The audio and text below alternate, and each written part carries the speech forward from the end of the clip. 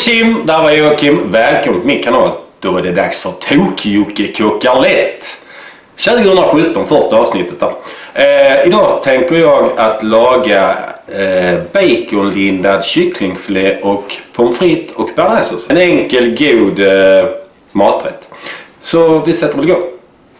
Vi ska ha fyllning i kycklingen tänkte vi. Så vi börjar med att göra ett litet snitt här. Som man kan fylla i. Så. Ej här. Nu ser det kanske ut som något annat men eh, ni får sluta fantisera. Eh, så. Så lägger vi lite ost där. I med lite... Jag ska ha lite sån oliver i här också. Det är gott att prova på här lite. Oliver, oliver med vitlök i. Så vi pregar i dem och vi delar dem. Så, så pregar vi lite här. Det är roligt man kan fylla det med vass som egentligen är där. Så får vi ha lite senap där också. Nej, Johnny senap ska vi ha. Grovmalen kör vi på. Johnny! kör vi lite så. Och sen tar vi lite ost på det. Då blir det smaskens.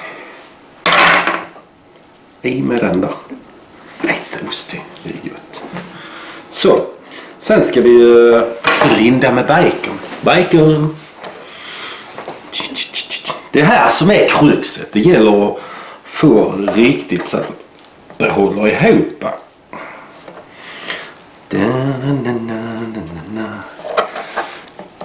Var inte rädda och tryck till lite där.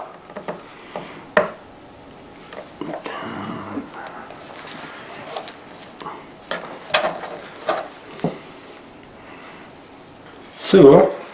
Baconlindad kycklingfilé. Lägger vi den så. Kasper kör en vanlig variant med bara ost i.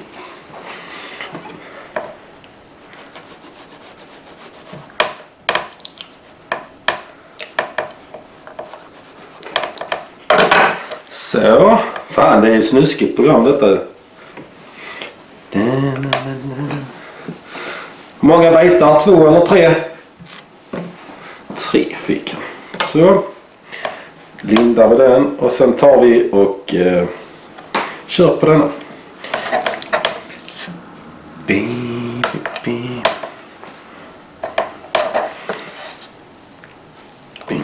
Måste ha mer bacon.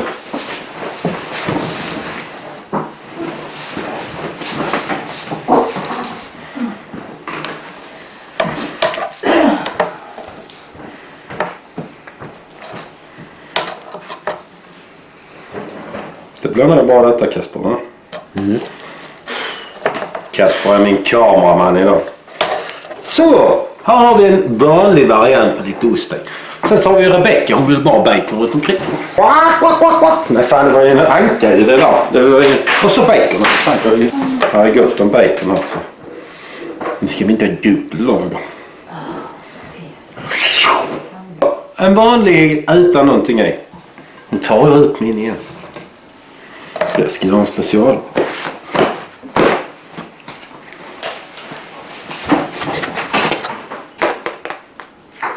Gott! Man ska aldrig vara rädd för att testa. Det ska man inte vara. Mer. Det blir en krabb dejlig den här. Mer. Sådär. En katt i huset här. Kattamara. Så. Och så. Mycket fin det blev. Nu ska vi in i ugnen. Vi får väl ha lite pommes-strips. Jag gör inte dem själv idag utan vi kör med Icas. Det är enkelt. Ja. Så brukar jag vänta med att salta och peppra tills de är färdiga. Det ska bara in i ugnen. Så. I med kycklingen. Så, kör vi.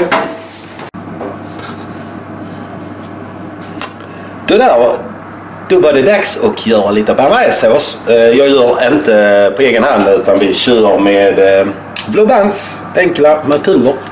Börjar med 3 deciliter vatten.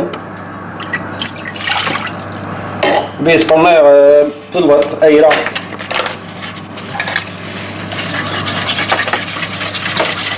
Och så tar vi andra påsen. Eh, kör du bara en påse så det är bara en och en halv deciliter vatten. Så där, sätta på den kan vi. Så. Måste ha i allt innehåll. Det börjar hända grejer. Eh, man ska koka ut det lite. Så ska få lite fart och så ska man sänka värmen. Jag brukar... Det gäller inte att bränna det i det. Och så vispa hela tiden. Det är viktigt. Vispa, vispa, vispa, vispa. Sen lägger jag i lite margarin där. Som bit ungefär. Tänker fan, det är inte så mycket. Efter mina recept gör man så. Så, sen drar vi tillbaka till plattan igen och rör. Rör om hela tiden så det inte bränner. Det är det många gör fel. De vispar inte hela tiden. Det måste man göra. Vispa, vispa, vispa. Vispa, vispa, vispa. Så en liten skvätt av eh, lite fet mjölk. Så lite. Och så vispar vi. Vispa, vispa, vispa. Sådär, där är den klar. Nu är kyllingen klar. Det är dags att ta ut den.